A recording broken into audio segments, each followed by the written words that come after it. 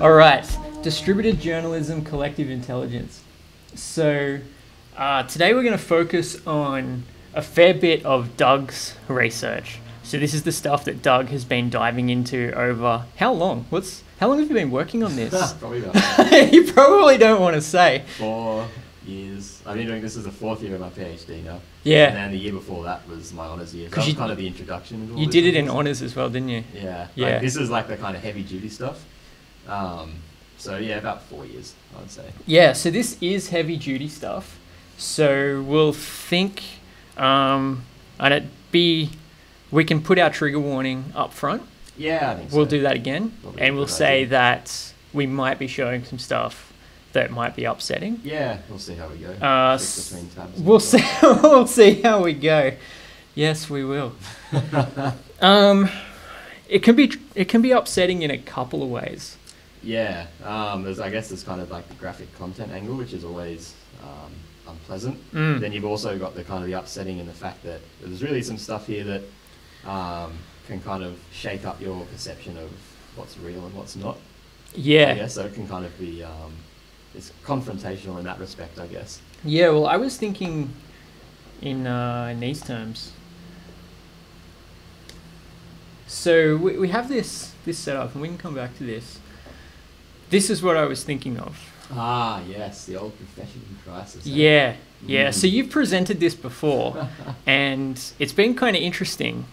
Yeah, it's a Um, very mixed response. It gets a mixed response, and uh, it was kind of like it ended in a ref stoppage. yeah. Time out. yeah, this has to end. This has to end.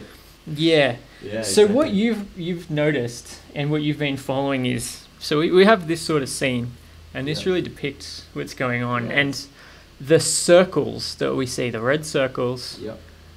are what is causing this Yes, yeah, exactly. So those everything that's circled there, as you can tell, is they're all kind of cameras, yeah. yeah So it's like, and obviously, it's just kind of citizens holding these cameras. It's kind of totally different dynamic. Um, and see how many of them are. So there's one, two, three, four, five, six, seven, eight, nine, nine, nine individual cameras. So you've got nine kind of reporters on the scene, well yeah totally engaged, So- totally embedded. yeah so all of these are capture devices Mm. And when we combine that with the internet Yeah. we've got this distributed journalism effect Yes. where all of these people can be recording what's happening and then uploading it to the internet Yes. and really nothing is going to stop them No, not at all. Um, nothing, in fact. no Um, there's no game. unless you take away their internet Yeah, yeah, that's which it. we saw last week Yes. Um, and there were still workarounds for that anyway. and there's still workarounds There's always there's always a way to kind of get information out, yeah regardless of what kind of restrictions have been put on the channels, I guess. yeah and we're seeing this we're seeing this uh, expand even more as bandwidth expands as well Yes. so like 10 years ago this would have been harder Yep. because you would have had a dial-up connection Yep. to try and upload all this stuff Yep. So it would have been small footage. Yeah, really pixelated. I mean, you've seen Really smartphone footage from like Yeah. say ten years ago, and it's just like twenty pixels on the screen and Yeah, barely yeah. discernible. Yeah, yeah. No All those videos that used to circulate via email. Oh, and like your friends are texting to you at school and stuff. Yeah, Straight yeah. up, like. yeah. But now you can record this in HD, you can live Mm. stream it, Mm-hmm. which is really interesting. And the live streaming has a particular effect because it's just all out there. Yes. Yeah. Exactly. It's all happening. Yep. It's not being edited. no. There's no It's just um. there's no copy Raw. room, there's Totally no raw. editor, there's no none of And this if stuff. multiple people live streaming simultaneously, then you have like totally different kind of perspective on the events. Yeah, yeah, yeah. And then especially when the live streams are saved to say YouTube or another hosting platform afterwards, like Yeah. they can be deconstructed by everyone Yeah. after the event. Yeah.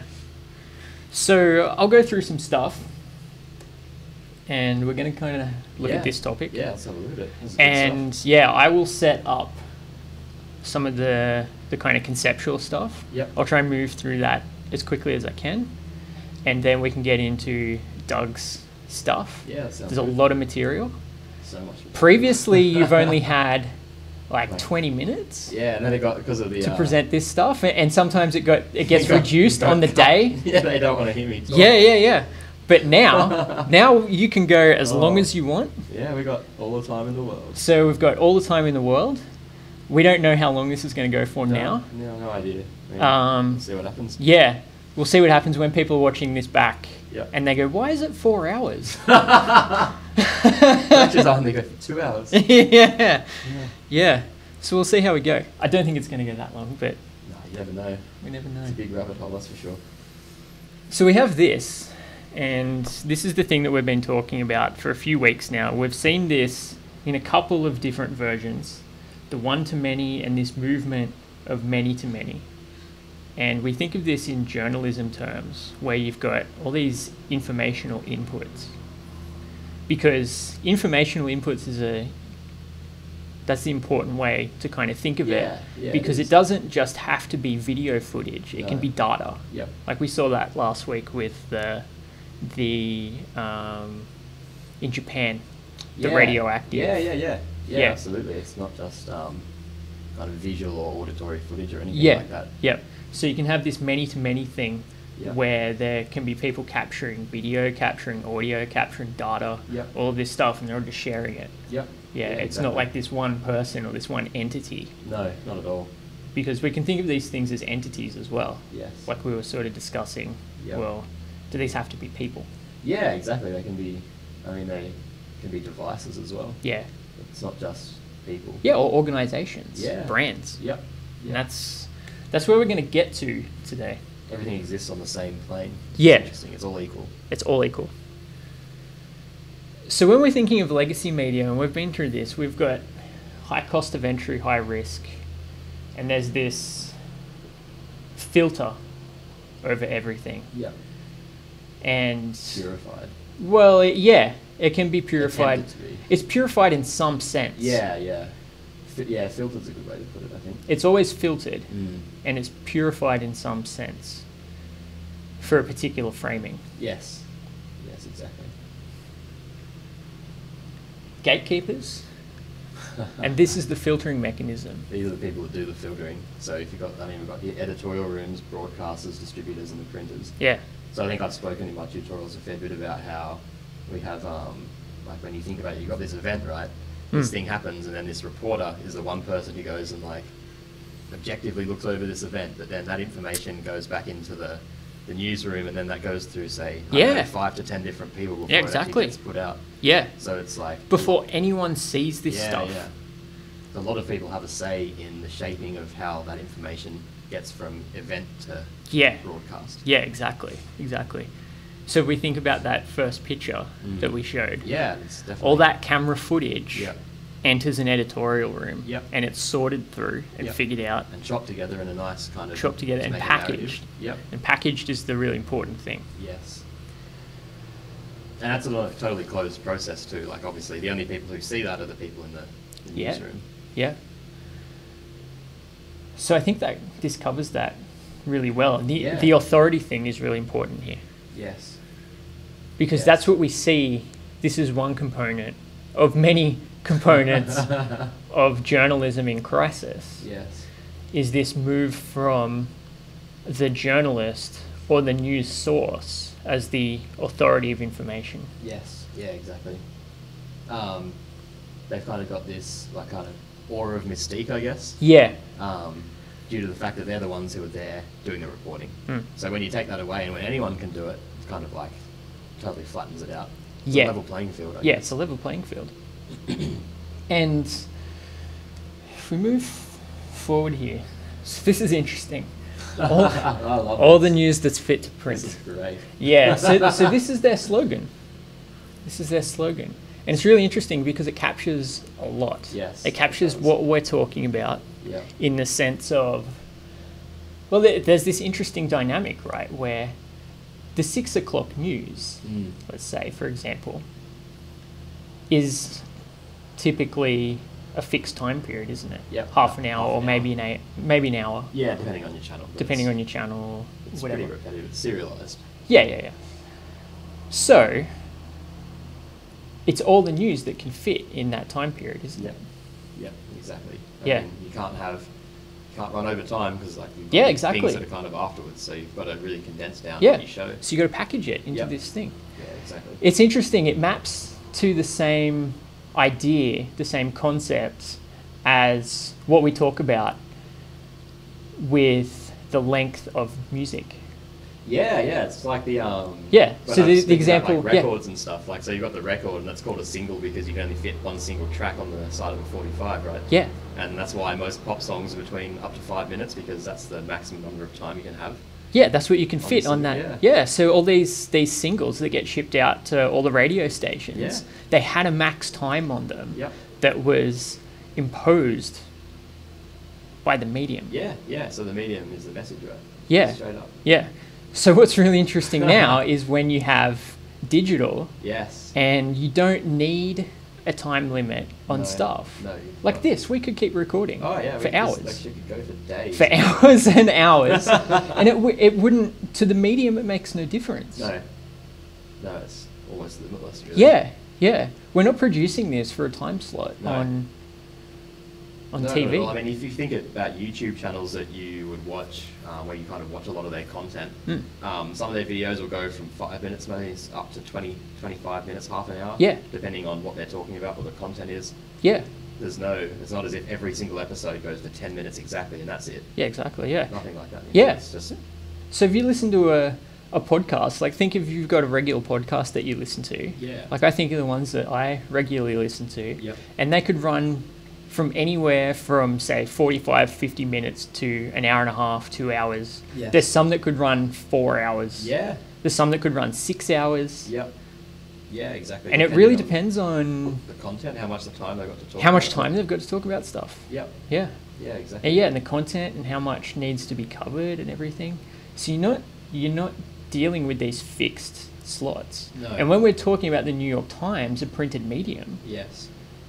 The length of that story, a word count, doesn't matter Yeah, as much in a digital context. No, not at all. The feedback mechanism is different in the word length Yes. because you s- can start to get well, you start to get into the power of digital stuff Yes. because you can start to use that to optimize content for your readership yes. because you know that say because you've got all your tracking mechanisms set up on your articles Yes. you know that people only typically read say 600 words Yeah, yeah, yeah, exactly. or 1200 words or whatever and that can depend on your audience Yes. like i've i listen to a six hour podcast and that's because i will listen to that but i'm guessing a lot of people they don't want to spend six hours. yeah yeah yeah So then they find content that fits what they want to listen to. yeah but i can also listen to that six hour podcast over a week Yes, that's true as well. It's not as if it's like think about television where something's it's on channel ten for this time period on this day. Yeah. And you have to sit there, and that's when you Yeah. are engaged. Like, Yeah.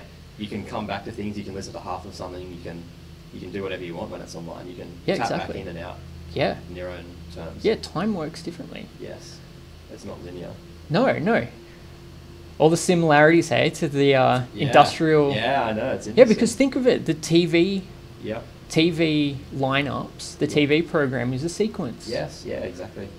And the news is a sequence. What's the typical format of the six o'clock news? the introduction comes in, then there's um, breaking news, and then there's some stuff, and then there's sport, and then there's weather. Yeah. And then there's always some kind of feel good story at the end. Yeah, you leave yeah, yeah, yeah, yeah, Good. You're like, oh, that wasn't a total depressing experience. Yeah, there's a sequence there. Yeah, there is. But when you're dealing online, there's no sequence. No, not at all. Because it's not packaged as a finalized product. no, it kind of always ongoing. It just sits there. Yep. So as usual,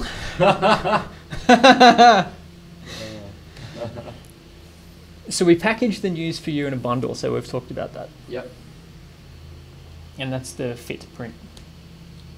Yep.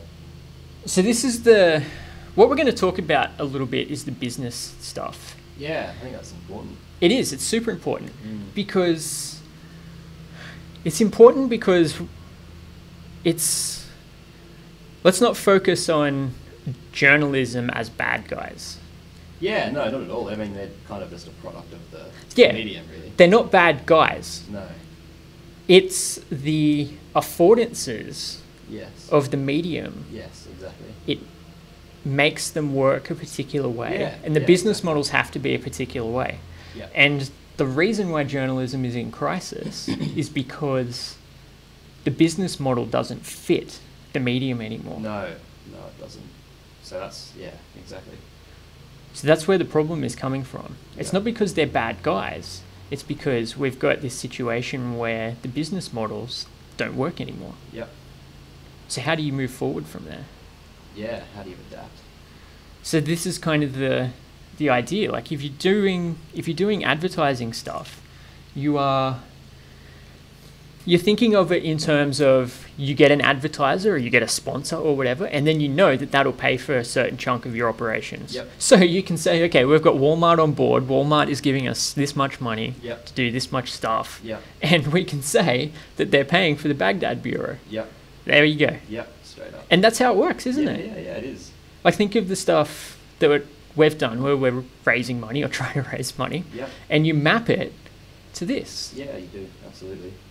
And all the advertisements you see, kind of in your newspaper. Yeah, yeah, yeah. Adverts on the telly. Yeah, They're all paying for the upkeep of the, the channel, really, yeah, they're all they're all paying for the upkeep of the channel. and keeping it going. Yeah. So you buy it from us because you trust us. So this is really That's- interesting. yeah. Okay. That is interesting, isn't it? Yeah. The idea of trust and the idea of going back to the New York Times, where they say what's fit to print. Like, Yeah, what is fit to print? Who who gets to decide what's fit to kind of Well, who are your advertisers? Who are your sponsors? yeah, Who's like giving this- you money? So you've kind of got this all, like really interesting um, dynamic between information about things happening in the world, and then you've got all these ties to the people who are literally paying your salary and keeping you afloat as a company, and you have to balance like the way that you talk about things in the real world so that it's in the not in the interests, but it Yeah. maybe doesn't conflict necessarily with your um, advertisers who are literally paying you Yeah, to stay to stay afloat. yeah. So there's a kind of an interesting dynamic there. So advertising income, is a typo there. advertising income fallen off a cliff. It's not coming back. It's not coming back. No. Um, yeah, I think obviously as the internet kind of gets bigger and bigger and more people are spending more time online, they're realizing that advertisers are realizing that spending money kind of in the legacy journalism paradigm isn't necessarily getting them the return that it would have been. Yeah. So, um, I've been talking about this with in the tutorials. It's interesting. One of the really important things with this is the tracking mechanisms. Mm. Because with digital, you can track everything. Yes. So if you're an advertiser, you can get really good feedback. Oh, more than you'd ever get before. Yeah. Like pinpoint kind of Yeah, accuracy. pinpoint stuff. Like you know exactly Yeah. when people are listening to your Where people are podcast. clicking, what people are doing. Yeah.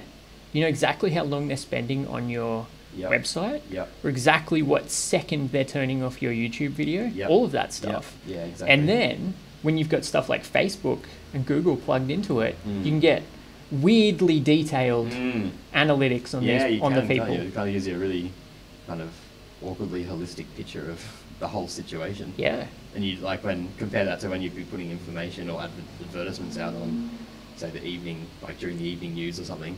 Like you have no idea really if it works or not. Like Yeah. you, you might have a bit of an idea. Like your sales might go up a few percent. Yeah. Or like some people might say in the feedback, "Oh yeah, I saw you on the telly," but like you don't know what about the advertisement resonated with them. You can't see where they tapped in, tapped out, Yeah. all that kind of stuff. You can't see their click history, how they got to you, Yeah. anything like that. Yeah. So this like the internet with this kind of new dynamic gives you a much more detailed profile of your audience. Yeah, definitely. Mm. And even something like this. So like, let's have a look at this actually. We could play with this. So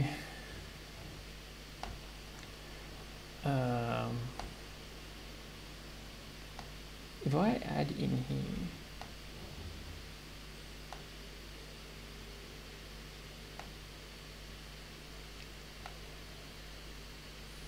so so let's just think about this in terms of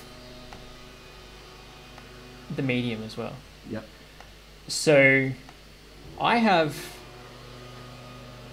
put this out there, right? And I'm working off this. Yep.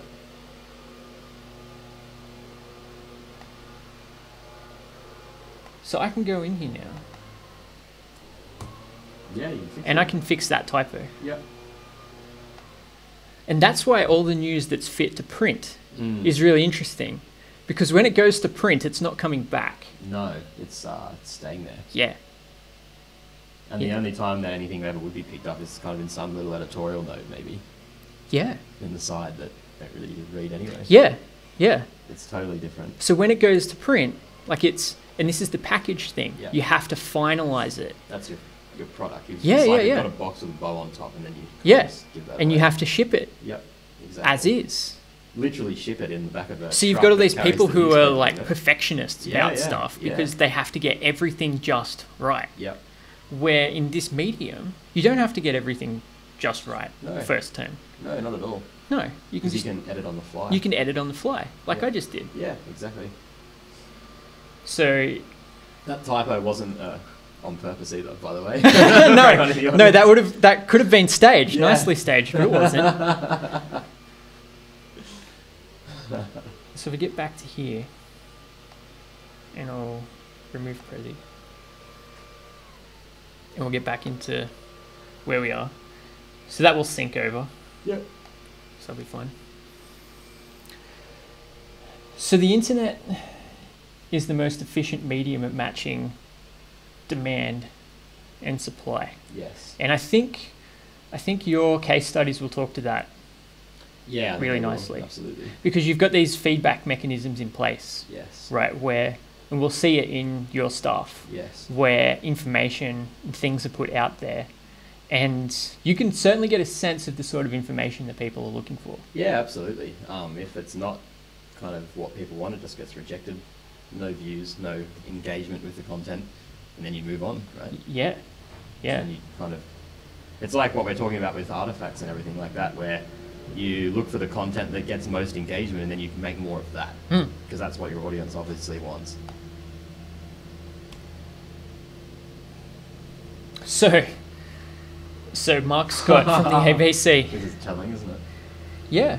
So, okay, so it would be wonderful to present you with some vibrant future of the old media organisations, but for newspapers in particular. The last great hope is what, waiting for Rupert to come buy you. Yeah. Yeah, exactly. The Murdoch machine, then. Yeah, yeah. But why are they doing that? Why are they waiting? They've got no other option. Well, I mean, it's kind of a death. Yeah, this is it. Yeah, to survive, exactly. they have to stop the audience from acting as a publisher. Yes, exactly. Because if the audience wants the news, they can just go get the news now Yes. from all the other sources, not just these Yeah. journalistic. It's really interesting you mentioned this actually. I saw a video put out by the ABC the other day. Um, it was the, the whole point of it was after some kind of trolling debacle on this thing called ABC Meet. Um, but this is quite interesting because the way that the ABC, obviously being a legacy organisation, framed users on the internet, they framed the users who were engaging with content and publishing their own things and commenting as kind of evil and bad. Well, that's what they have to do. yeah, yeah. That's what you have to do. And they that's the only way the- to survive. The other people who just passively engage and maybe like something, they frame them as like the good guys. The good guy- We want more of you because you just consume. You don't publish your own stuff, and you're feeding back into our system. Yeah. Yeah. Yeah, these people are problems. Mm. So much so that here he is, the man himself. Uh, what more do you need to say? hey? Yeah. So see, the key words there are free, open, uncontrollable internet. Yep. Yes. Versus shackled newspapers. Yeah. Shackled. Yeah, that's a good way of putting it. Yeah. He knows. He knows straight Yeah, up. of course he knows. He's not an idiot. Yeah. Do you think he's Rupert Murdoch because he's an idiot? No. Not even for a second. This is the point. This is the point. So what what do they have to stand on? What does journalism what do journalists have to stand on? And it's not that they are evil people again. No, no, not at all. It's just a. It's that the playing between- field has been leveled Mm. and they are now one of many Yes. who can contribute. I guess content. The, the idea of something that's interesting, kind of here, but I'm talking about legs to stand on. Something that kind of constantly gets brought up is the idea of integrity. I think. Yeah. Like journalistic Yeah, integrity. yeah, yeah. Which I think is um, it's quite interesting. That's an interesting argument. We'll look into that further on. Yeah. So this is from the editor of The Guardian. And he is better than Mark Scott from the ABC. because he actually hits Yeah. the problem yes. open versus closed, Yes. Yeah. Absolutely. packaged versus un. un versus just Free- stuff that's just sitting there. Yeah. yeah. Exactly. Yeah, it's just sitting there. You cannot control distribution or create scarcity. And scarcity is the other really interesting thing Mm. when we talk about demand and supply. Yes. Because remember, we said the internet is a copy machine. Yes. We keep saying that. Yes. There's no scarcity here. No, not at all. Um, if it exists in one place, it can exist everywhere, Yeah, and to do so is very easy. yeah. The thing is that it's easy to create media now, Mm. and it's easy to create information or wh- whatever, however you want to put it. Yeah. The um, I think it's the old editor of Wired calls that the democratization of the tools of production. Yeah, So it's like everyone can produce and create now. yeah. I mean, you have a phone and you can literally do anything. But what does that mean for business models? Yeah. Because there's no scarcity, No. and that, that's where price comes from. yes. Exactly. Something that is expensive Yes. is because It's there's a limited amount of them, there's scarcity, and people want it. Exactly. So that's what drives the price up. Yep. And that's kind of why the I don't know if we've touched on this before, but the the value now comes from rather the value being placed on content, the value is more placed on audience attention. Yeah, So it's the attention economy. it's the attention economy, because that's what you're doing. There's literally a absolute kind of flood of content, Hmm. and it's like how do you make content that will grab the attention of the audience? Yeah, How do you do that? yeah, yeah. Because that's Because they get to what- choose now. They get to choose Yeah. what they want to engage with. They can choose whatever they want. Yeah, Yeah. exactly. So you're dealing with grabbing their attention. Yep. And this is what we're dealing with the closed content model, the open content model. Because it's not just consumption attention, it's production attention Yes. as well. Yeah, exactly. Where are people creating content as well as consuming it? Yeah. So, open access platform, free content, generative value, and values participation. This is what the internet does. Yes. So, the stuff there over on the right, Yes. this is the internet. And the other side there, that's the old model. Yes. The legacy paradigm. Yeah, paid content, artificial scarcity, Yep. and control of distribution. Yeah. And participation's addictive. Like Yeah, people like to kind of once you start making things, you get a taste for when you see an audience kind of um, giving you feedback on your content and like enjoying stuff that you're making. You want to make more, right? yeah, especially with social media Yeah, stuff, yeah, yeah, where the interfaces are designed to trigger dopamine yes, responses exactly, in your brain. Exactly. So, so you make you're making content Yep. and you're putting it on social media, Yep. and then you're getting the same response that you get from a poker machine. Yeah, yeah, exactly. It's like you upload, say, an aesthetic photo to Instagram, and you get like, oh, that one got hundred likes. I'm gonna do more of that. Yeah, because it's the same thing. Exactly. It's the like, same thing. You just you keep creating content. Yeah. So he goes on, and this is a really good piece to read, Mm. by the way. The URL's Yeah, there. Highly recommended. Um, authority versus involvement, and that's what we're talking about here. So readers want to have the ability to make their own judgments, express their own priorities, create their own content, articulate their own views, and learn from peers as much as from traditional sources of authority. Mm. That's very interesting, isn't it? Actually. Yeah, and this is in 2010. Yeah, Eight years ago now. Yeah, Mm. that was a long time ago. Mm. A lot's changed since A- then. well, Well, I mean, it's kind of awareness Yeah, of this has changed a because way the same thing it. was happening. Yeah. The same thing was happening then.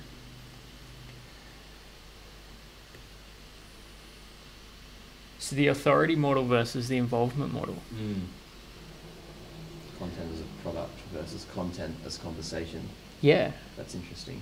yeah, I think that's yeah, that's a good way. I mean, that's a good way of thinking about it. If you even consider the dynamic of even when a legacy source posts something on, say, Facebook, like the ABC or the Guardian or whatever, there's now at least there's a space underneath where it can be deconstructed. you can turn those comments off. Yeah, you Look at a lot of sources; they turn yeah, the comments they do, off. They do. That's interesting. I've noticed that quite Yeah. often when there's material that is um, kind of intense or is going to provoke a lot of debate.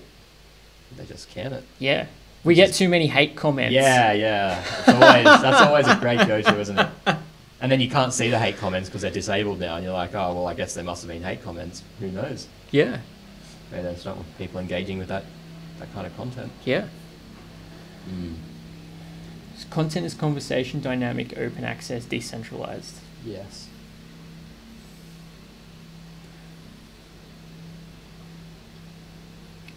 So back to our quote from Jay Rosen. Oh, excellent. We've seen this a few times Oh, now. haven't we? The people formerly known as the audience listened in isolation from one another. Mm. They certainly don't do that anymore, do they? No, no. I mean, you can find someone on the other side of the world who's interested in the very niche topic you are, and you're not isolated. You can work together, Yeah, talk to them, yeah, create content together. yeah. So if we think of things in terms of our network topologies, and you're going to talk about this a little bit more. Yeah, yeah. I will touch on, especially number C there, distributed. Yeah, yeah. So a shift. So this is Axel Bruns. Yep, from Perth. A shift from dedicated individuals and teams as producers to a broader based distributed generation of content by a wide community of participants. This is really interesting because this text captures it so well. Mm. The text is so good that it's almost boring Yeah. be- because it seems so obvious yes. when you read it. Yes.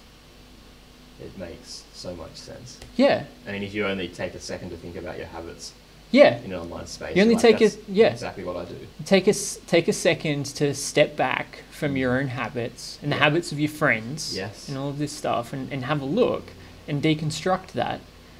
Then this text becomes boring Yeah. because it's so obvious. Yeah, exactly. But that's what's so valuable about this text.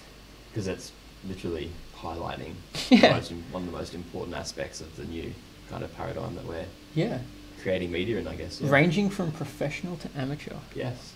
That's what we mean when we say flattened. I mean, everyone, it's all the same now. Yeah. You might, I mean, yeah, you guys will have a, you might have a degree in media, but then someone who's never had a university education still has the same tools and the power to create stuff. Well, I know plenty of people who have degrees in all sorts of things, exactly, and yeah. they are very good media Yes, makers. exactly. And that's the point. it, really? Engineering students, Yep. computer science students, Yep. who are top tier media makers. Yep. And I mean, think about how easy it is just to Google stuff online. If you don't know how to do something in a media sense, you can Google it and then you can figure out the answer. Yeah. So it's just that easy. Artifacts generated are no longer products in a traditional sense, and that's what we're talking about with the package stuff. And we'll see this with collective intelligence, how things just get put out there and then pulled apart. Yes. enabling continuing collaboration. So what's really interesting about that is something can be made and then it can just sit there Mm. for a long time. Yep. Sometimes it can sit there years Yep. before it gets reused. Yes, and nothing happens to it. Yeah, nothing happens there. to it. Think about all the stuff that happens in politics Yes. now. Yes. The dirt on people that's Oh. pulled up. Yes. Yeah, getting dirt on someone's a lot easier now because there's so much content that just sits Well, there's so there. much content, but it sits there forever. Yep.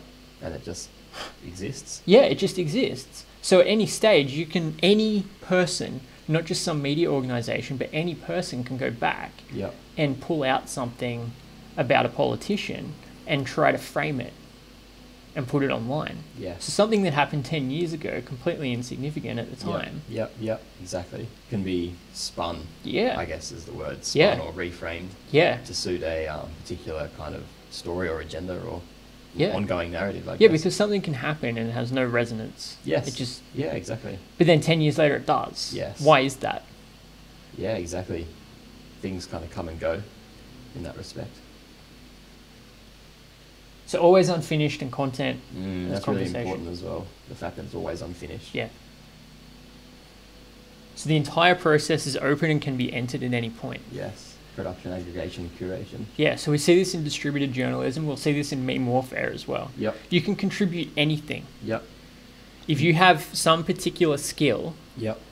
you're very good at writing slogans. Yes. You can just jump in there and write the slogan Yep. and be done with it and get out. And you leave. And you Yep. leave, yeah. And that's your input. And that's your input. Or you can hang around for the whole thing Yep. if you really want Yeah, to. yeah, yeah, of course. If you've got the time. Yeah. I mean, say some people might be better at kind of curating a certain aesthetic for different pieces of information. They're not good at producing as such, but Hmm. they're good at compiling different things together. Yeah. And then they come yeah, in yeah. halfway through and they're like, they've got slogan guys, um, slogans, like- slogan guy. and they're like, put slogan guys slogans together with some um, some images that they've also found, and they're curating this information and aggregating it together rather than producing. Like they're pulling, it's like their assemblage of pieces of information is what makes them valuable. Hmm. Yeah. So let's jump into your stuff. Yeah, okay. Um,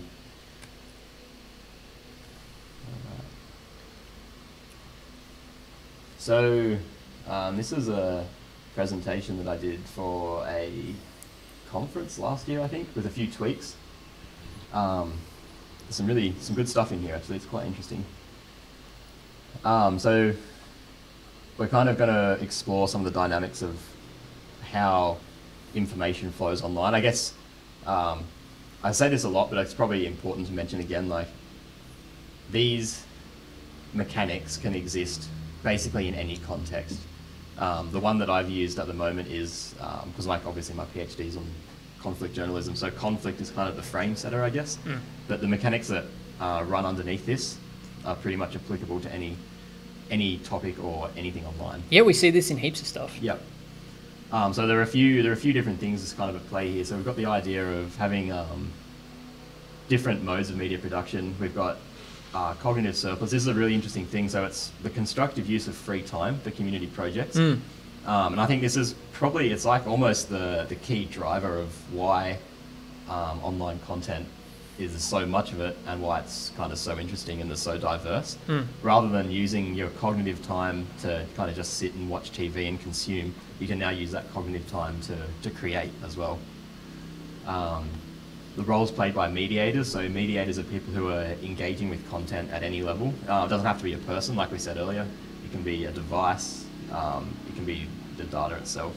Everything Yeah. kind of exists on this flat plane. And then, obviously, at the end, collective intelligence.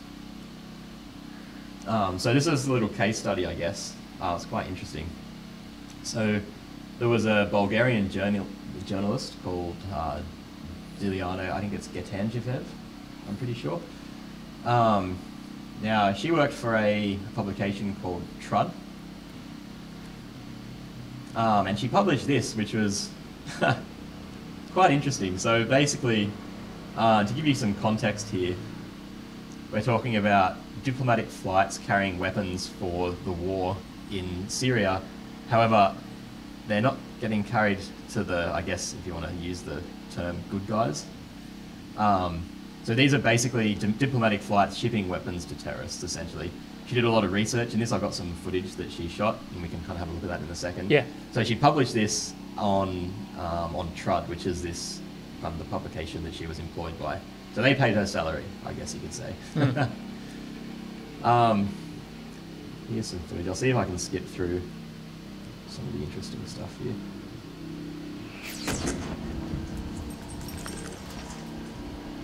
There's not really a need for trigger warnings here. It's just kind of they're just testing some of the stuff that they've bought. So, this is her. Yep, on the left there. And this is where it gets new today. These things are kind of held underground. So you can see here they're kind of going into a basement, and here we have boxes of missiles. Um, we've got boxes of everything: grenades, machine guns, the whole, the whole works.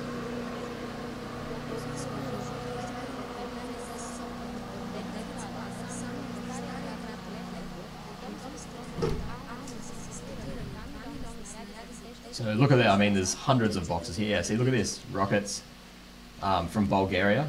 From One piece. Bulgaria? Yeah, so rockets coming from Bulgaria. Getting shipped into Syria on diplomatic flights, On diplomatic flights. diplomatic flights to terrorists. So that's kind of that's the frame setter, right? This is this is this is this The is frame destroyer. yeah.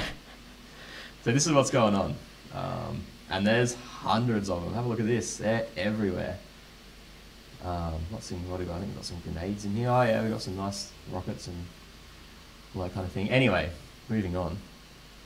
Oh no, that always happens. How?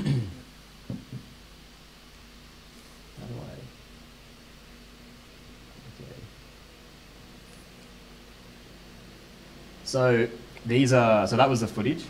Um, and now we have back, sorry. Um, we have slips that come from these are um, oh I guess the closest thing you could think of them are they're kind of like custom slips. um, and this is kind of a, they're, they're diplomatic clearances for what's kind of being transported in these planes. So we've got um, transportation up to 90 tons of military cargo from Bulgaria to Prince Sultan in Saudi Arabia. That's very interesting. Uh oh. Ooh dear. Yeah, look at that. That's that uh, really breaks down all the narratives, doesn't it? then we've got this one, military cargo to Saudi Arabia as Saudi Arabia as well, and I'm assuming this is coming from Ministry of Defense yeah, coming from of Kingdom of Saudi Arabia. Bulgaria's national arsenal. So it's definitely state sanctioned. So this is going to terrorists. Yeah, it's going to the, the kind of the extreme Saudi terrorists who are then filtering into Syria. That's the basically the gist of what she was. But I thought getting at. the Saudis were. Who are the Saudis supposed to be friends with? I don't know, man. it's that much of a complete. Well, that's yeah, I guess like depending on who you listen to, the Saudis are supposed to be like pretty chummy with the US. That's what I thought. Yeah, but then this is a bit. So why is this isn't it? happening? I don't know. I have no idea. It, ans- it asks more questions than it answers. So yeah, here we go. We've got a shipping thing. 790, 790 boxes of grenades and rifles. 790. That's insane. Going into, as you can here see, Bulgaria, Saudi Arabia. 6th of October 2016. So this has been happening for a while.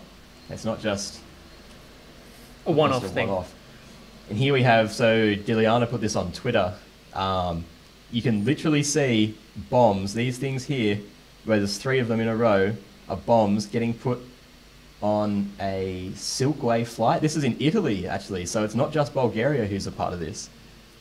Getting shipped onto a, uh, a Silkway diplomatic flight in Italy. That's interesting, isn't it? Yes. That's um, pretty unexpected. Anyway, It's. I don't know what it does really. It's- oh dear. um, well, there's a narrative here. yeah, there is. There is. There's also lots of counter narratives as well. But the narrative is problematic. It is. Um, because it doesn't sit, does it? It's kind of different.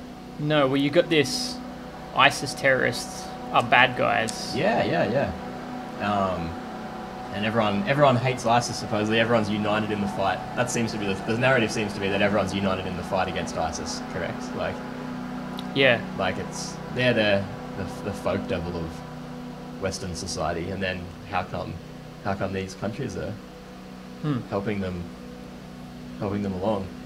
Um, so anyway, she published this right, and this is really interesting. So she just got fired for telling the truth about weapons supplies for terrorists in Syria on diplomatic flights. So she got sacked. She published this. There was a lot of online conversation around it because it, for the very fact that it's kind of uh, interesting and throws a bit of a spanner in the works, you could say. And she got sacked. Um, So this shouldn't have really got past the editor. no, someone in the editorial team really uh, blew it, you could say. um, that was terrible. Um, That's yeah. all right. We can edit it out. Yeah, excellent. So, someone someone really didn't think that through when they were putting that into print. Um, they probably thought it was a bit of a think piece, bit of a she spent a lot of time on it. Let's publish it out and see how it goes. Mm. Um, so what's interesting though, so she gets sacked, right? So she can't obviously publish any of her information in Trud anymore because she doesn't work there. Yep. However, she still has Twitter, so Yeah. she can just keep on going. and this was this was a couple of days after she got the chop, and weapons continue to flow to terrorists um, from Israel, Germany, and Slovakia, and they're only visible on military radars. So even though she's got sacked from her place of employment, It makes no difference. no, it doesn't. She can still publish Yeah. online. There's a million other places she can go to publish this stuff. Yeah. So you've got that distribution thing where Yes. Yeah, exactly. where previously she would have got sacked from whatever and would have had to go find a new job to find a new outlet Yes. to be able to put her yes, stuff out exactly, exactly. But instead of having to go and kind of beg the Guardian for a job, she can now just publish her stuff on Twitter and still get good engagement too. Yeah.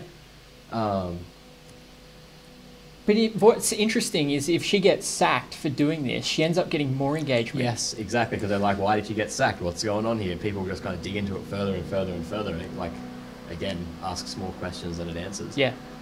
Um, so everything that happened kind of here is in the.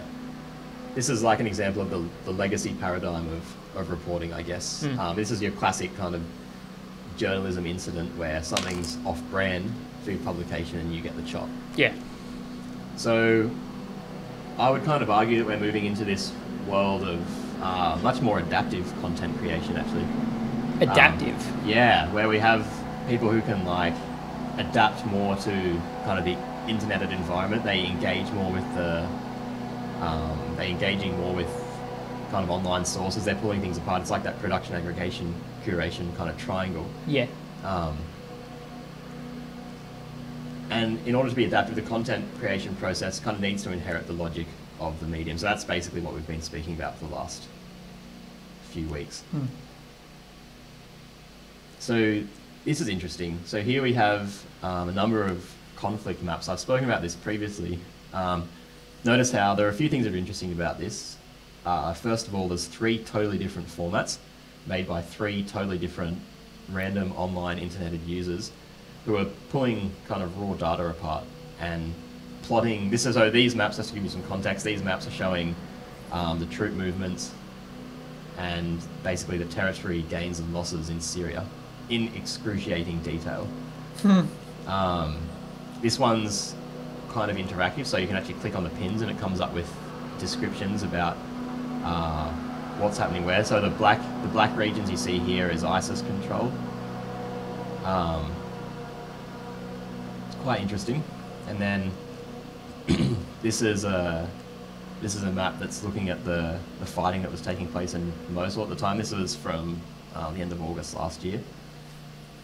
And then this one is by a user called Petolucem, who is one of the kind of considered authorities, I guess, when it comes to making this kind of content. Um, you can kind of see here there's the different flags. Like ISIS is pretty well surrounded here, and it's not looking good for them at all. So you have this online network of users who really have total freedom in what they create, I guess. They tap into this kind of river of content about the Syrian war. Um, they produce things, they aggregate, they curate, they post things to their own Twitter feeds, they make they make these kind of maps. Um, they all have different roles kind of within the within the network, I guess. Mm.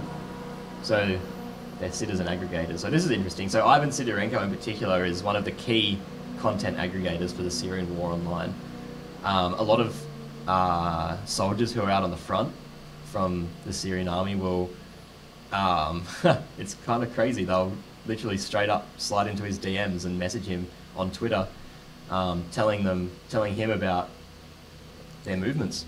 This is exactly exactly what's kind of going on. They talk about um, fighters who have been killed. Like if there's generals who are killed, they talk about people who've been martyred. They talk about gains and losses over the day, what's happening, Mm. tactical stuff. Yeah. And he screenshots this and then posts it out onto his feed because he's one of the key aggregators. So he's got a huge audience, Yeah. Yeah. which is really interesting. Um, this is just some anonymous, either singular person or it could be multiple people running the account. Um, there's a bit of kind of debate about that. Yeah.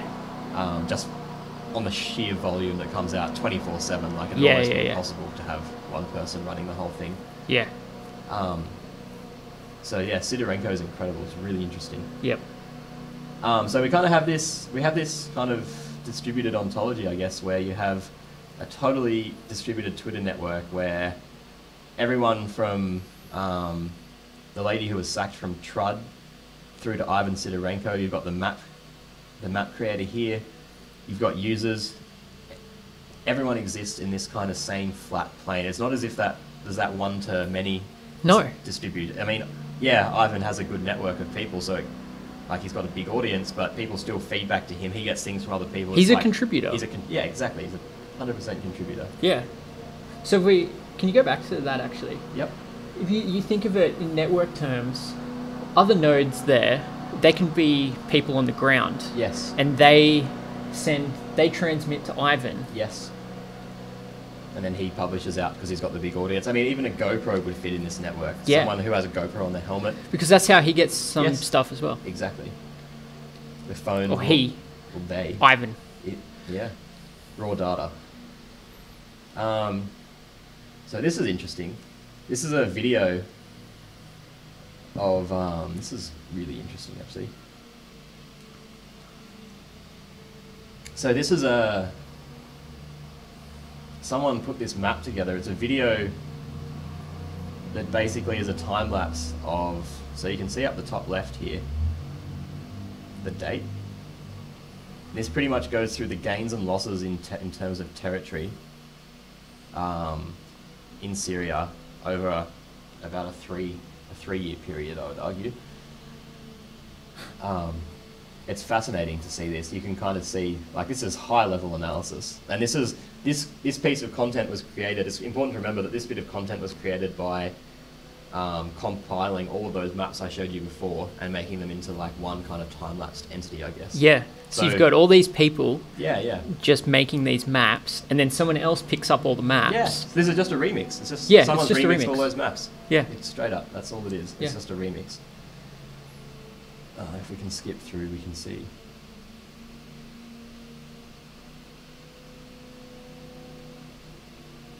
You can kind of see how it's starting to go. The tide starts to turn. Yeah. And then, and we're years later. Yeah, yeah. exactly. It's incredible. That's huge. Absolutely ridiculous. And we don't know who. No idea who made that. No. Um, we have a bit of a clue, and we'll get to this in a sec. You can see down here where it says Syria General. Yep. I'll um, we'll get to that in a second. So yeah, here we go. Syria General presents. Here we go. it's like a sort of a great Hollywood movie, isn't it? um, so Syria Syria General presents the Syrian Civil War map sequence covering Friday, 22nd of March, 2013, to Monday, the 27th of March, 2017. It's almost four years. Um, you can see down the bottom here it says this movie was generated by a script written by user at deepcover1000. So an online user here has created a script Hmm. where they've basically gone through one of the map aggregators I showed you before. Yeah. And it's compiled probably a screenshot of every single map uploaded into a visual representation into the video. Um, I've no idea who Deepcover 1000 is. Deep Cover 1000 might not even care about the Syrian civil war. He might just be, or they might just be great at writing scripts. Yeah. Who knows? Yeah. And, like, couldn't tell you. And that's kind of what's really interesting about this is that it's um, it's I don't know. There's no kind of clear, like, oh, what am I trying to say? There's no kind of clear publisher. It's Yeah. just done by someone. Yeah. I think that's yeah, it's an interesting dynamic. Um, Syria General is also interesting. We're going to get to that in a second. So this is interesting too. Everything's interesting here. This is great.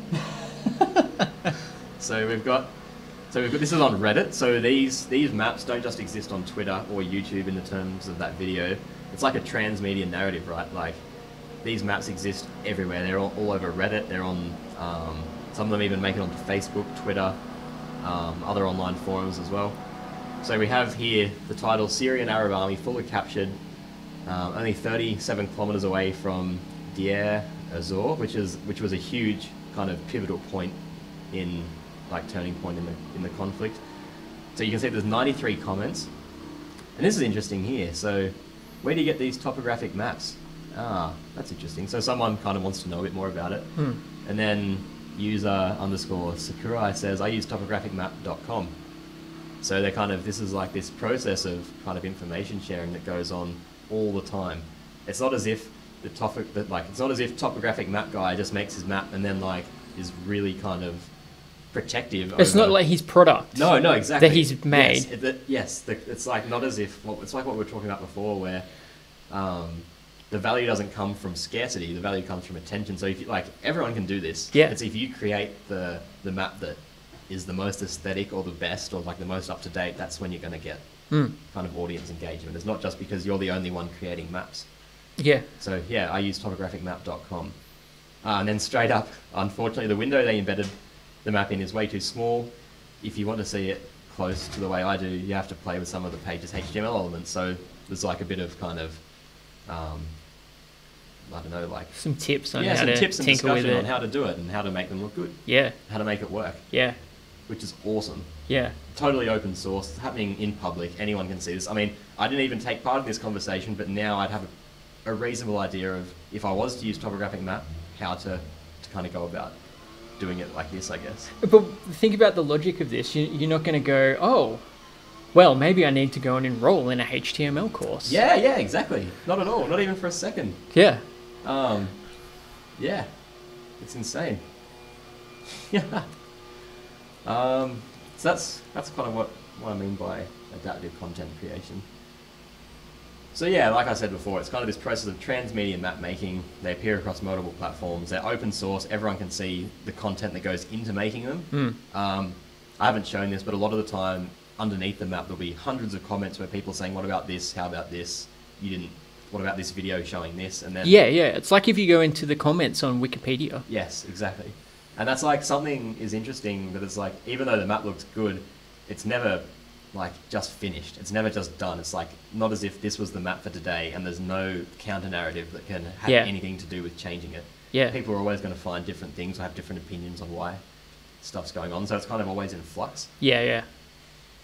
Um, so yeah, different cartographic formats are constantly developed, consistently developed, and improved upon. So the key characteristics of this kind of process would be that there's a high rate of ideation. Um, they're highly adaptable. The decision making that goes into making them is highly transparent. It all happens in public. Hmm. Uh, it's open source. There's collective intelligence because it's not just one person doing this. Is like relying on the cognitive input of basically everyone in the network who's engaging with this content. Yeah, that one Thousands of person. people. Yeah, yeah. That one person who pops up and goes, oh, you got to tinker with the HTML. Yeah, yeah, yeah, yeah. Exactly. Um, there's quick feedback loops. Like you'll put something out, and then within minutes you'll be getting kind of feedback straight away on how to make it better, even if the format of your map's not good, Mm. or whether the content in it needs kind of a bit of tweaking.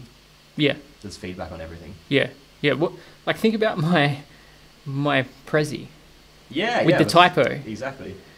If I make that open, anyone can just jump in there and fix it up and change it. Yes, exactly. Or if people if people want to change the background, they can. If they think they can improve, improve the aesthetic, Yep. if they want to play with the typography, any of that, Yeah. they can do it. It's not like this printed thing No, not at all. where there's the the master designer comes Yeah, and crafts yeah, the final product. it's just there, and anyone can pick it up and do whatever they want with it. Yep. Yeah, straight up. And this is the same dynamic. And this is what's really important is mapping the dynamics across things. So like you said before, this is how it applies in this Yes. particular exactly. situation. Exactly right. But the mechanic works across the internet because the mechanic is part of the logic of the medium. Yes, exactly. That's, that's the logic of the medium. That's Hmm. so important to remember that. This would this this kind of stuff would apply for anything, anywhere online, any type of content Yeah, with any frame. It doesn't matter. yeah.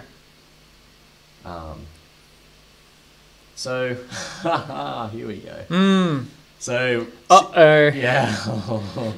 Dear, oh dear, oh dear. Um, so Syria General, um, as you saw before, was that um, Syria General. Okay, this is going to take a bit of need to give you some context here. So Syria General is a a thread that appears pretty much daily and has done for Oh, I've been following it for about two years now. Mm. It's been there for a long time. I think almost since the start of the war, three to four years. Yeah. Every single day, sometimes two a day. If there's high intensity of stuff going in multiple spots around the country, Yeah. this thread will pop up on 4chan.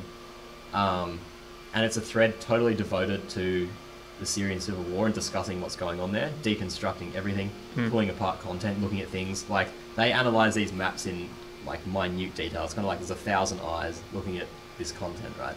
So it's really, it's kind of full on, it's powerful stuff. This is where the kind of the collective intelligence angle comes in, I guess, um, because you have kind of this, like, it's not just one person, there's like thousands of people in the same space looking at things. Yeah, and before before we go on, it's probably important to note if you see, you've seen 4chan here and go, oh, what's this? This is interesting, and you put it into your browser Yeah. and you have a look. yeah. Just be really careful Uh, about where you do that where you do that, and who you do it around. who you do it around, because the kind of content that can be put on 4chan Yes. can be pretty wild. Yeah, yeah, it's pretty. Um, it's a. I mean, I'll talk about why it's wild in a second, but yeah, it is. So just keep that in mind Yeah, if yeah. you're uh, interested in having Maybe if you've got your, for example, you've got your laptop hooked into a projector in front of a class, you probably don't want to go to /pol/. You just can't predict what's going to come up. No, exactly. It's not like the New York Times where you're like, oh, it'll be a nice front page, and this is kind of it could be It's highly unfiltered. Yes, exactly. No filter at all. Yeah. So just keep that in mind when you Mm. go on there. Yes, yeah, exactly. Um, so Syria General, this is the the logo of 4chan in the middle with the the four leaf clover, the, the clover. Um, so Syria General is kind of like there's a, as you would kind of expect with having a, um, an online space that a lot of people inhabit for years at a time. It kind of gets its own community, and that's why someone made this logo. No idea who it is. Someone who's good at Photoshop Yeah. or InDesign, whatever, made this logo. And this is the Syria General logo, uh, forward slash SG for short. Um, yeah, you can see it here. So this is like it's transmedia kind of stuff as well. It exists everywhere. It's like permeated onto YouTube as well in the content that gets hosted there. Now this is what uh, one of the the threads looks like.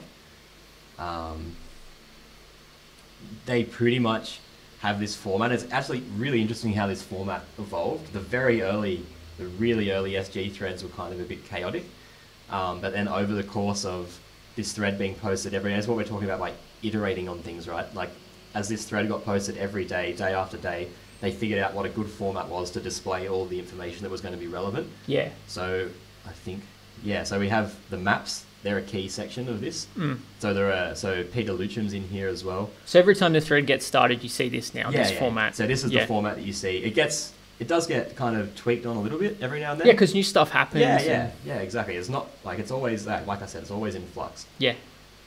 But who starts Syria General? Who starts the thread? Couldn't tell you. No idea. Yeah. Anyone. I could start one if I really wanted to. Like, it'd take me a bit of time because I've kind of, um, like you've got to have all the sources at hand to kind of go. But Mm. yeah, you can start one straight up. Yeah. easily. This is interesting. This is from the, the Syria General Twitter page, actually. Uh, run by many. So this, I think this absolutely nails, it totally nails this kind of online internet aesthetic where it's like, not just, it's not run by, not run by Doug over in Wollongong. yeah. Not even, not even for a second. It's run by, it's run by everyone who takes part in the Well, in the it's online well, space. it's always changing. Yeah, yeah, So exactly. It's run by Jim, Jack, Jessica, Bob, whoever. Everyone, everyone who contributes, even if it's only, even if you only put in one one comment or something per thread, you're still helping to run the show. Hmm. Um, notable achievements include getting moderate terrorist and ISIS bombed. We'll talk about that later. Um, so it's an anonymous aggregation space, basically. These threads exist, and what happens in them is essentially like a dump of data. That's basically what the start of the thread is, with all of that, like the way this all that formatted with the maps, the kind of the green text where there's like pretty simplified versions of movements, what's going on. It's like a, an absolute data dump, Mm. and then underneath that, there's hundreds of comments that happen in each one, uh, where they sift through this data and they kind of make sense of what's going on. Yeah. Um, it's awesome. And that all happens in real time. So 4chan itself is quite interesting. You have this idea of being anonymous. Um, it's kind of, there's almost total anarchy in there due to the anonymity. Um, but it also relies on the cognitive surplus that we spoke about before. Like it's the, the fact that you're not using your free cognitive time just for consumption anymore. It's more directed at Yeah. um, production, aggregation, or curation, and involvement Yeah. in the in the medium. Um, it's distributed modes of production. They happen all over the place. Content comes from YouTube, Twitter, Reddit, everywhere. And obviously, there's collective intelligence because there's so many people kind of engaged with it. The thousand eyes, I like to call it, Mm. or Ted actually likes to call it, Hmm. the thousand eyes. So there's no structure, there's no hierarchy, there's total freedom.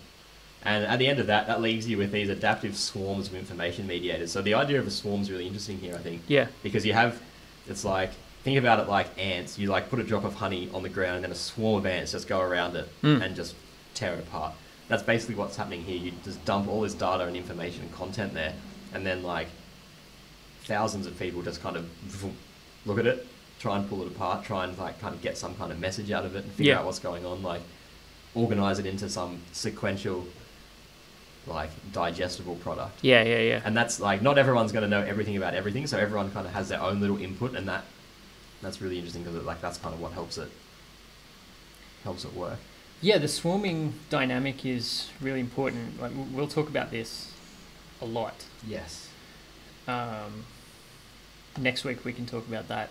yeah yeah More. swarms are swarms are the way of the internet i think Yeah. they are absolutely Well, there's no, there's no.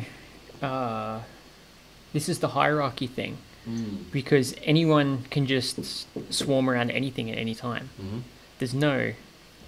it's not like in the legacy paradigm where you're kind of cut off from the swarm you're not allowed to assemble around information and look at it you're just kind of given to it you have to passively Yeah, so stuff interesting happens, Mm. or there'll be an interesting like information drop. yep That's the drop of honey. yes yeah exactly exactly and then people just mob around it and Yeah. start sorting it out. The interesting dynamic here is when WikiLeaks drops something. Yeah, yeah, absolutely. And people, that's there's so many kind of different interpretations of that, Yeah, and it's like a battle of interpretations. People trying to fit like back up, get extra information to like back up kind of their their point about it. It's really interesting. yeah, yeah, and they're highly scalable. Mm. That's what's really important. yes, exactly. They're not. It's yeah. I'm going to talk about this. They're not. Um, they're not necessarily. What's the word I'm looking for? They're not. Um, I've totally lost it. they're not. Um, it's Taleb talks about it with anti fragility. They're not um, over optimized. Yes. So yeah. they're, they're quite clunky, I guess. Like there's no. It's not as if. There's a lot of redundancy. Yes. Yeah. Exactly. But that kind of is what makes them work so well. Yeah. Yeah. Because people will just come in and there'll be so many people just kind of uselessly working on stuff. That's a dead end. Yes. Exactly. But the point is that they're finding that there's a dead end. Yes, exactly. It's like getting negative feedback, still good feedback. Yeah, yeah, yeah. Absolutely. But when you're a large organization and you're paying all these people, Mm. That's really bad because there's all these people Exactly. who work who Wasting, you're wasting all your money on like yeah everything. Yeah, hundred percent, straight up. it's this efficiency efficiency and redundancy thing Yep, absolutely. Um, so Nassim Taleb, very interesting guy actually. He talks. He talks about this. Um, so I would argue that these online spaces, this is these are his words now, thrive and grow when exposed to volatility, randomness, disorder, and stresses, and they love adventure, risk, and uncertainty. Like they thrive on the fact that it's totally unknown what's kind of happening in there. mm. Um, and Yeah. he, he would he would call this basically this kind of anti-fragility. It's not um, robe. Okay, we'll, we'll get to that. So fragile is something that's damaged by disorder, often over-optimized. That's what I was talking about. It's like think about fragility like this. Like if you over-optimize, say you're going on a holiday and you're flying, your holiday's in Paris, and you finish work at like 5 p.m. and your flight's at 10, and you like ev- like every single time. So like you go straight from work to the station to catch a train, which then gets you to the airport with one minute to spare to catch your flight. what happens when your train's late and then you miss your flight? Yeah. That's like a, an over optimized system. Like you got to have buffers in there. So when it works, When it works, it's awesome. it works, really with high well. efficiency, Yes. low cost, everything. Yep, it's it's all happening. Yep. But when it doesn't work, when something, when some kind of external factor comes in and inhibits the process that you're trying to be taking part in, that's when um, the over optimization can negatively affect Yeah, affect process. yeah, Um, fragile organizations are often large, um, hierarchical, and structured. Um, so that's not in my job description. yeah, yeah, exactly. It's like I'm not getting paid to do that. Yeah. Why should I? So when something pops up Yeah, yeah. that needs to be taken care of, yes. What do you do? well, who does it? Yeah. Yeah, exactly. Um, and the hierarchical kind of thing, like the the one to many approach, kind of embodies the idea of this hierarchically structured kind of working space, I guess. Hmm. And they often rely on external factors to ensure their own survivability. So, I mean, a great example of that is to think about journalism and the advertising that needs to come in to pay for, like, the New York Times to even exist. Yeah. They're relying on the external factors. Like, they don't support themselves under their own weight Yeah. of what they're doing, Yeah. which I think is quite fascinating. Um, yeah, so this, for example, straight up, that's highly fragile. Hmm. um, robust, which is um, basically something that's resilient to disorder. It's basically flat. It's the embodiment of the status quo. Um, if something's robust, it's probably it's not going to get better under stress, but it'll it'll be able to handle it. Yeah. Well, most s- of the time. yeah. Yeah.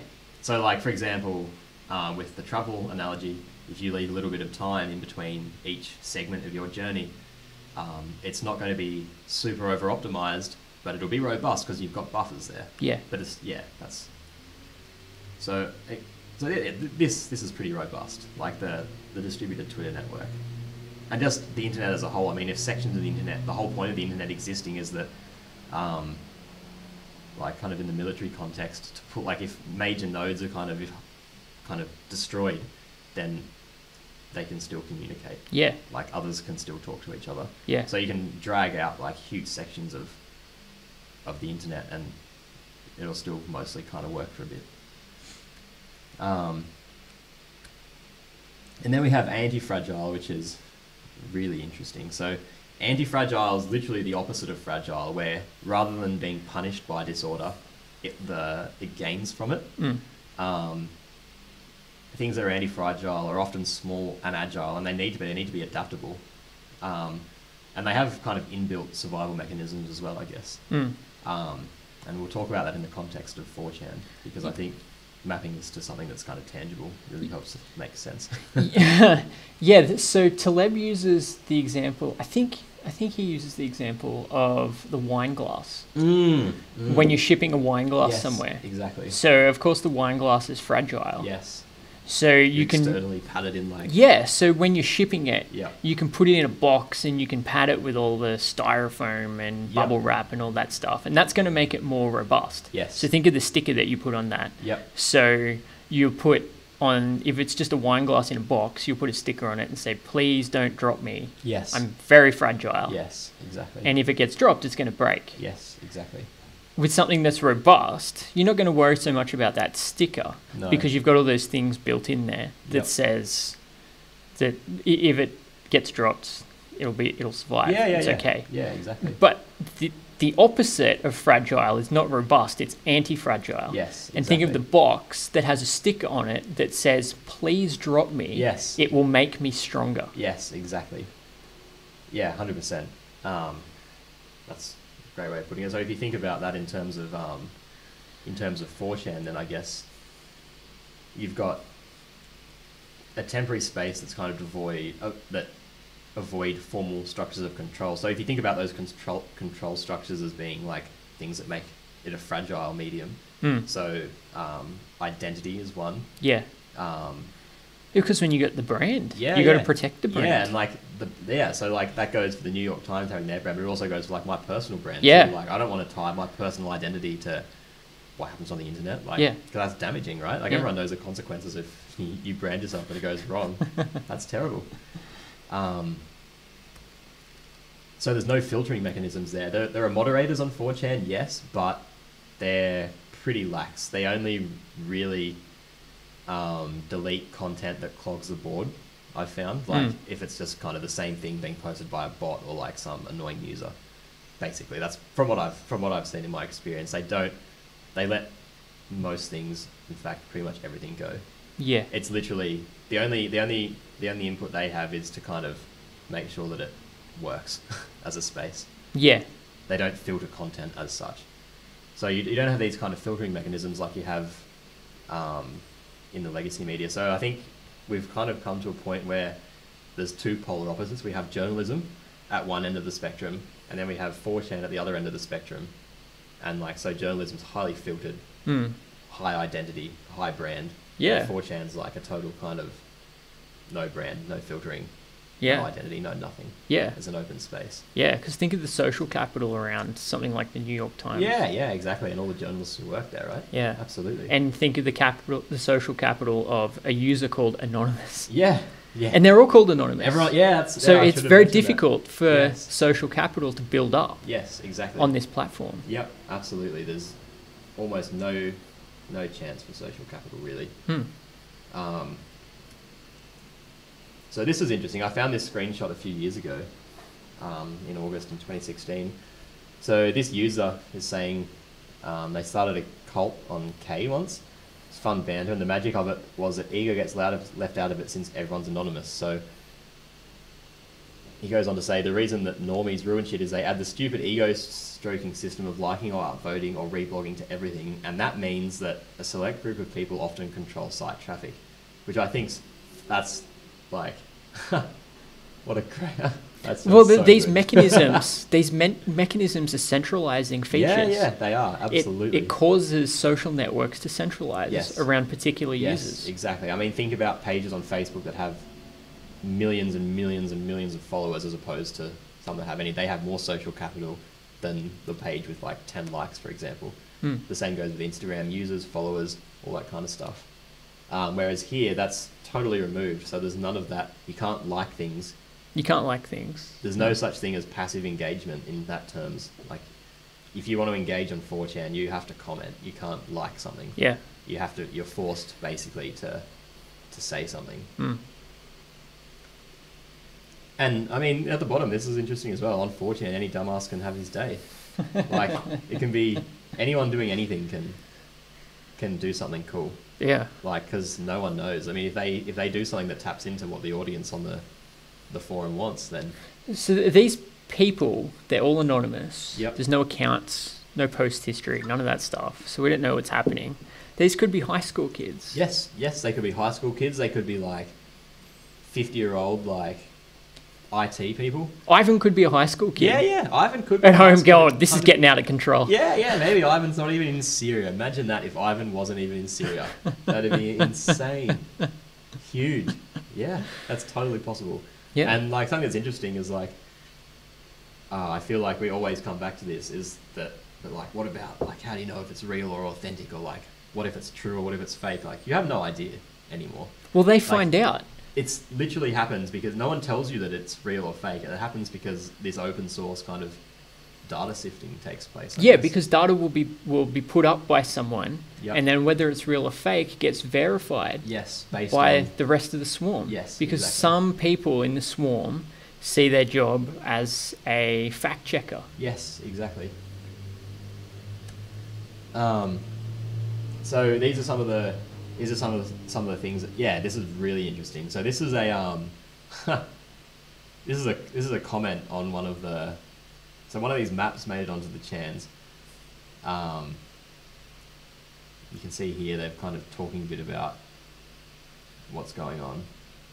Basically, their ideas on what's supposed to have happened. And then these comments underneath, I think, are really interesting. So you've got fake news, stop spreading false inf- information. ISIS didn't surrender in Hama.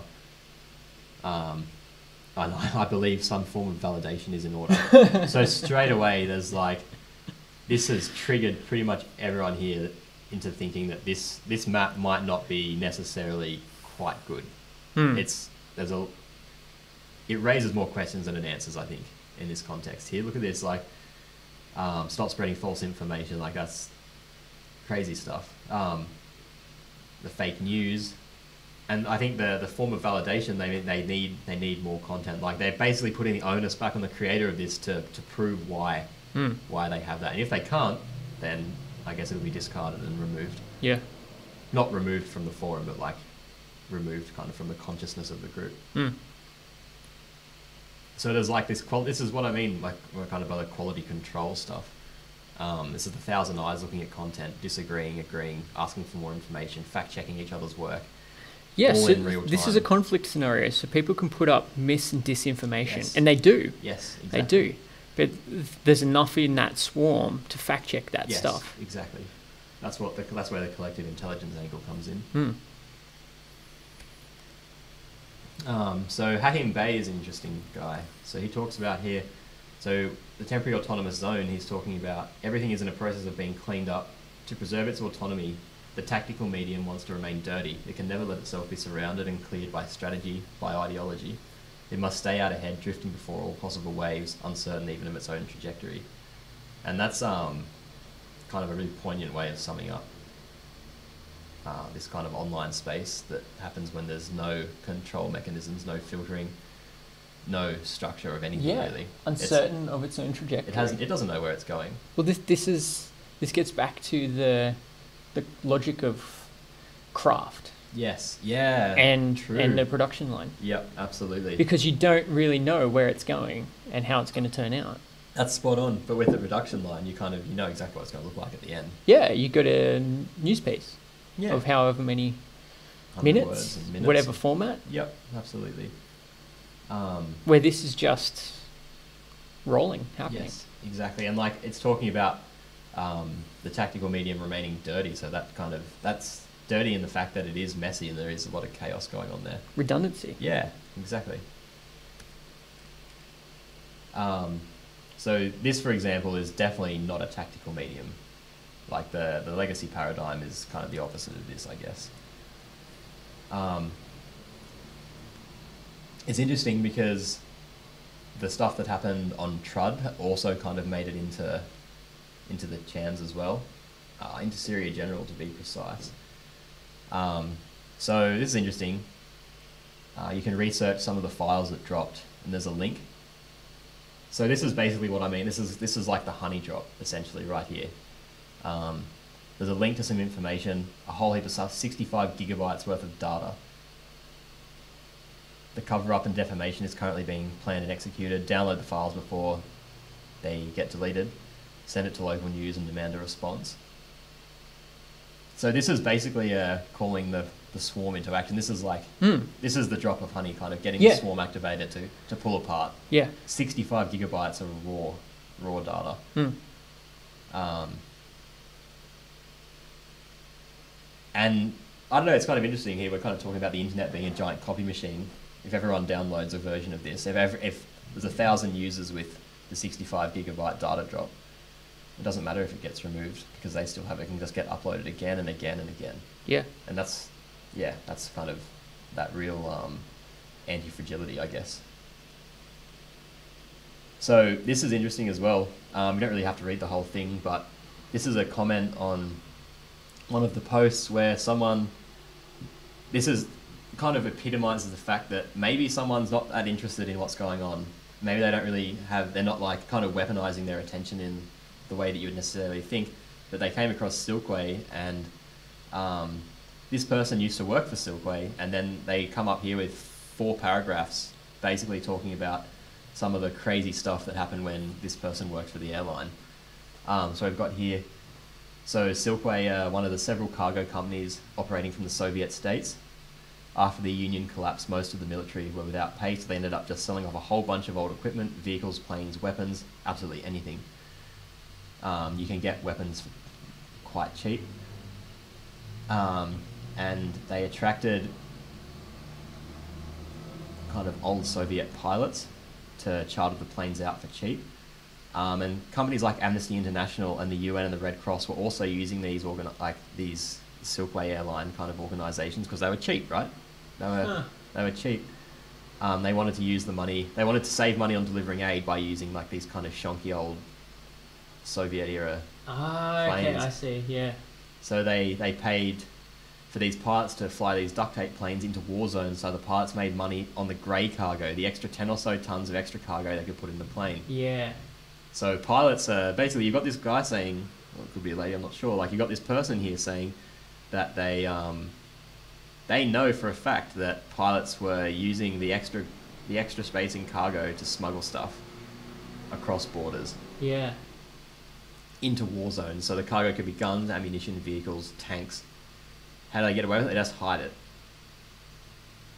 You can hide a utility truck in some of the hidden spaces on these big planes.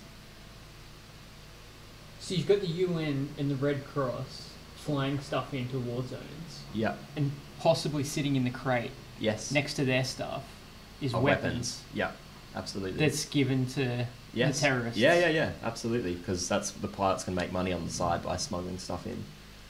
Um, so, for Huh. example, when Starikov crashed en route to Libya in 1996, they found bits of fighter jet amongst the wreckage. So there were jet, there were pieces of jet inside this plane that was supposed to be an aid plane. Crazy, crazy stuff. um, the important hubs for this are UAE, uh, Uganda, and Azerbaijan. And then it kind of goes into a bit of a black hole. But it's, that's interesting. This is this person who's got some like kind of this is this is a really valuable bit of content. Um, it could be totally fake. Yeah, it could be. It could be completely fake. Yeah. I have no idea. Mm. But based on the other kind of content that we've looked at and the dynamic of what's happening and the research that everyone else has done in the network and the stuff that um, the journalists who work for Trud did, it kind of it fits. Mm. It makes sense. Yeah. Um, and that's kind of how that's like kind of this never-ending process of kind of fact checking and things are never finished. Like this Yeah. story won't be done. Someone else might. Because something might happen. Yeah, yeah. A- a- And it could be as weird as someone's watching a piece of footage and identifies a piece of equipment and can somehow map it back to this information. Yeah, yeah. So suddenly this story that was that's seemingly dead and buried can Yes. just be pulled out. Yes. Yeah, exactly. So again, we've kind of got this characteristic of collective intelligence, open source, highly adaptable, totally transparent, Mm. quick feedback loops, Yeah. and that's that's yeah, that's kind of So that's what's happening. that's what's happening. Yeah. That's unreal. Yeah, I know it's crazy, isn't it? Yeah. It's, um, really, really quite intense. and and like we were saying so so this is Doug's stuff Doug's working on and he's focusing on collective intelligence in this kind of combat zone Mm. situation Mm. but it doesn't have to be a conflict No. No, it can be. You can where we see collective intelligence happening Yeah, yeah, of course. so this is a really this is a really interesting example this is in uh, this is in the readings the he will not divide us flag so as the title suggests so shia labeouf shia labeouf hides a flag he will not divide us he hides that in the middle of nowhere Yeah, he does. and users on 4chan see it Yep. they identify Where it the, is. the location Yep. using flight and star patterns. That's crazy. so there's a uh, there's a video here. Where we can see. So this, this is the flag that's sitting out there, and the and people are looking at it. What a thrill. I'm Capture the flag. for no mountain So Yeah. there it is, unknown location. And, like, what can you tell from that? Sky, really. Yeah. Just a bit of cloud. But you're some so that fly supreme. I give my life not for So 4chan using flight plans to locate the flag.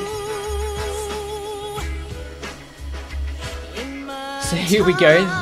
People checking the maps. They're checking the weather. So they're looking at the screens. They're looking at the, the tweets of it out and they're going, okay, well, what's the weather in that location? Okay, well, what weather forecasts are there that would map to that? Okay, so we can see some planes in the background. Where are flights at the moment? How does that map to the weather? Yes. And this is just people. This is just people contributing stuff.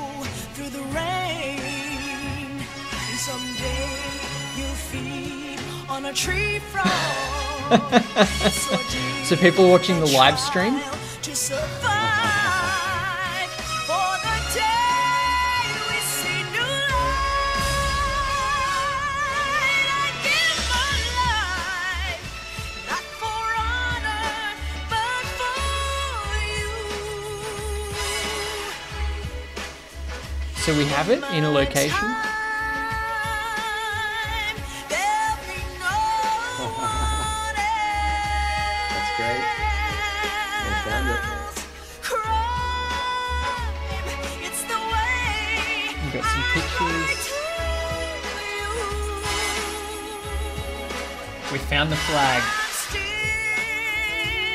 There it is.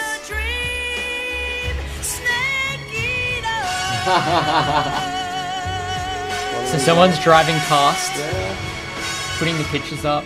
They're putting them on Twitter. They're putting them on Chans. Reddit. Yeah, on Reddit. This is on YouTube. Yeah, it's not platform specific. It's not like there's just one website.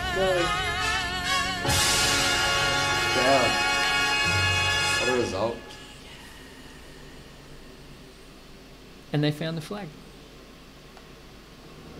That's incredible. And that's done. Yeah. Yeah, there you go. You mentioned this. Yeah, yeah, I did mention that actually. So SG, back at it again. Um, this is really interesting because you've got this kind of dynamic here where they're looking at content. It's like a thousand eyes, right? So you can see. Oh, look at that! There's so much going on here. Um, So the story with this was there was a propaganda video put up yep, by ISIS. yep, And it was at an unknown unknown location. Yep. It was a training facility yep, in the desert somewhere yep. In Mosul, I think. in Mosul. Mm. And that video went up.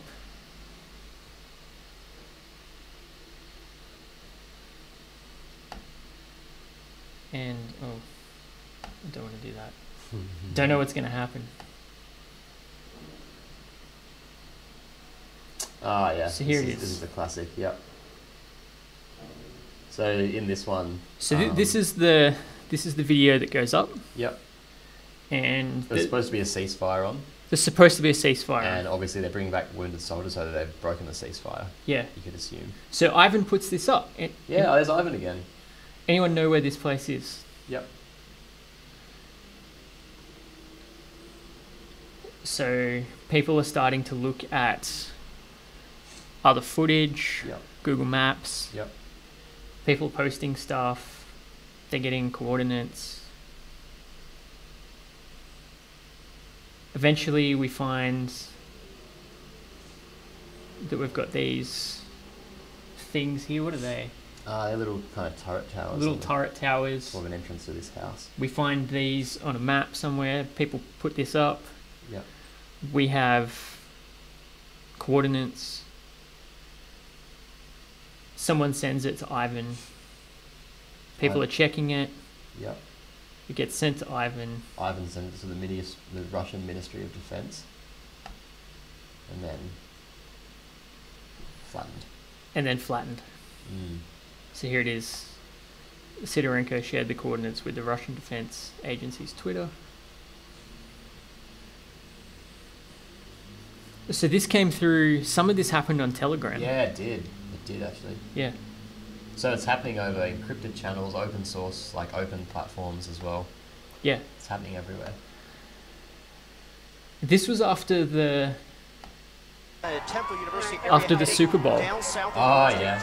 and there were there were reports coming out see the bonfire of Philadelphia that there was some kind of riot happening Yeah. in the streets Yeah.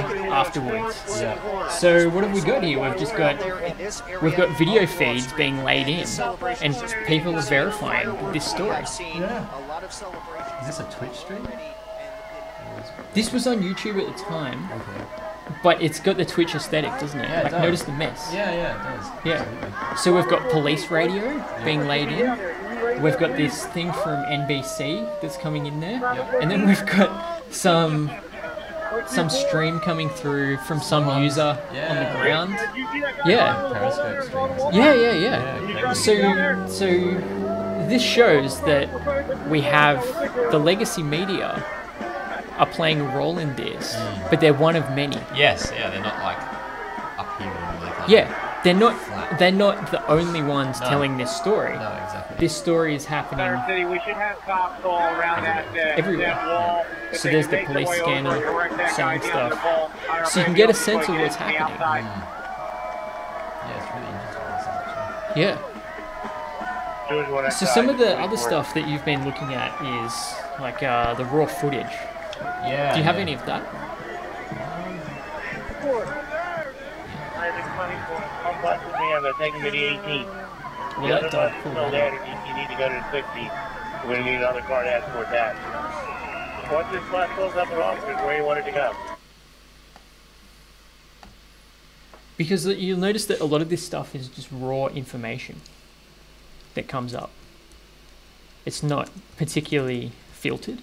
No, not at all. Like that, that map, the Google Maps. Um, just edit out the audio for this. but I'm gonna have to leave soon. yeah. Okay, so here we have. So what's this? This is uh, some, some GoPros on some tanks. So you've got hours and hours and hours of this footage, right? Um, people sticking GoPros straight on top of tanks, just recording it straight up, raw data. Yeah. Um, not really assembled in a way that's designed to tell a story as such. Uh, maybe some too necessary at this point. But then we showed we showed this last Yeah, week, a version of this last week, Yeah. where you can take this footage Yep. and you can put whatever you want. Yes. Yeah. Over exactly. Yeah, exactly. You can end up with um. You can end up with this actually. So you can go from having this to having to having um to having this.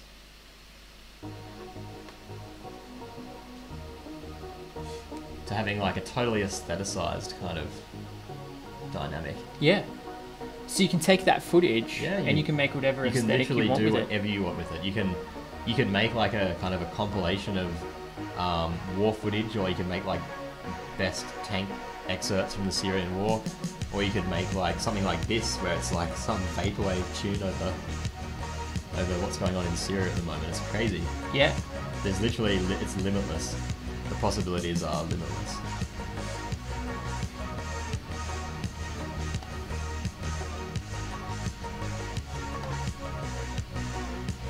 So we should probably end it there. Yeah, I think that's probably a pretty good note to make. We're getting it? on time. We are We are getting on time. pretty much hit nearly the two-hour mark. Yeah. Hour forty. So this is part one. We're going Mm. to continue this more next week when we look at meme warfare and collective gonna be intelligence. A lot of fun. I'm excited Yeah. for that. So what we're seeing now is people taking information about a situation and kind of pulling it apart Mm-hmm. and trying to figure out a story. Yep. We can also see this in the creation of propaganda content Yes. that's put online. Yes. Yes, we can. Absolutely. And there's plenty of that to go through as well. Yeah from all sides, like it was everyone's taking part in that yeah. process as well. And the very creative process that we might typically think of is for marketing, advertising yeah, agencies, yeah. that sort of stuff. Yep, absolutely. Yeah, we can see this happening online with these dynamics as well. Yes, hundred um, percent. I think next week will be a lot of fun. Yeah, we're gonna have some really good case studies to show. To yeah, show as well. Yeah, yeah, yeah. It'll be awesome. Yeah. So let's finish it up. Yeah, that's okay. it. Awesome. We'll see you online. Yeah, see you online. Yeah. Fuck.